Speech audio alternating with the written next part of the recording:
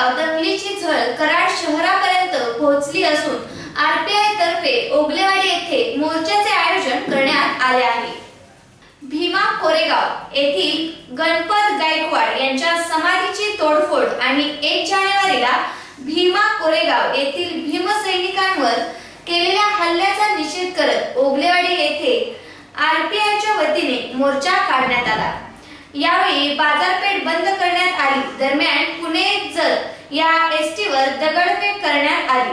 घटनास्थळी पोलीस उपअधीक्षक नवनाथ ढवळे फौजपाटांसह त्वरित दाखल झाले. पोलिसांनी व्यापाऱ्यांना दुकाने उघडण्याचे आव्हान केले.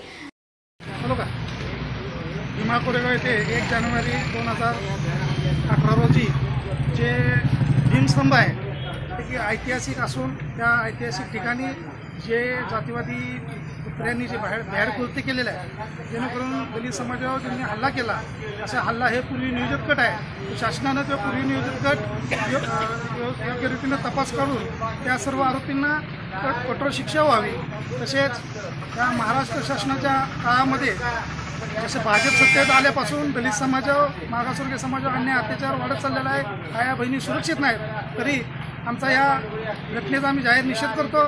तसेच या महाराष्ट्र शासनाच्या काळामध्ये जे दलितांचा जे अन्याय अत्याचार होतात त्या अन्याय अत्याचाराला सर्वस्व जबाबदार धरून मुख्यमंत्र्यांनी राजीनामा द्यावा अशी आम्ही मागणी करतो. कारण का हे पूर्वनियोजित गट आहे. हे सर्व प्रशासनाला माहीत असताना हे सगळं आमच्या समाजावर जो अन्याय केला त्याचा आम्ही जाहीर निषेध करतो. जाणीवपूर्वक असून त्याला जातीवादी समाजातील लोक कायमस्वरूपी विरोधी म्हणून असं काम करत असतात. या बॅड हल्ल्यात काही ट्रॅव्हल्स फुटल्या काही जणांना दुखापत झाली काही महिला दुखापती झाल्या दोन काहीतरी अजून माहिती नाही पण ठार झाल्या. अशा या गोष्टीला एक निषेध म्हणून कराड शहरामध्ये आज या ठिकाणी एक निवेदन देण्याचं आज काम आम्ही या लोकांनी सगळ्यांनी ठरवून केलेलं आहे.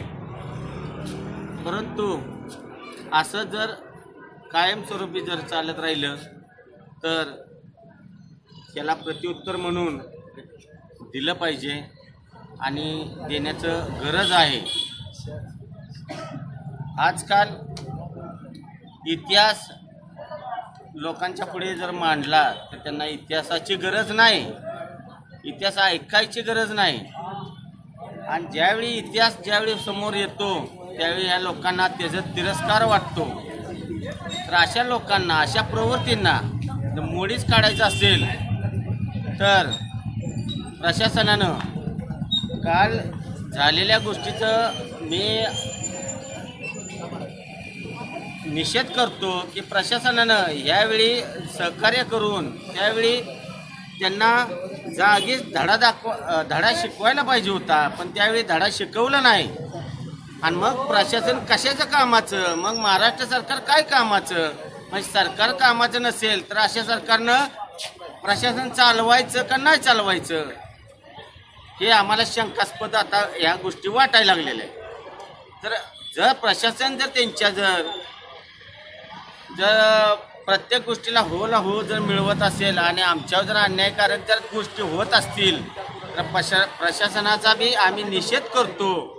आणि त्यांना सुद्धा दाखवून देतो येत्या काळात की की आमच्यावर जर तुम्ही भ्याड हल्ल्याचं जर प्रकरण जर घडवलं तर प्रत्युत्तर म्हणून आम्ही त्याचं चांगल्या पद्धतीने उदाहरण तुम्हाला देऊ शकतो. एवढंच मला सांगायचं आहे. जय भीम जय बुद्ध जय भारत.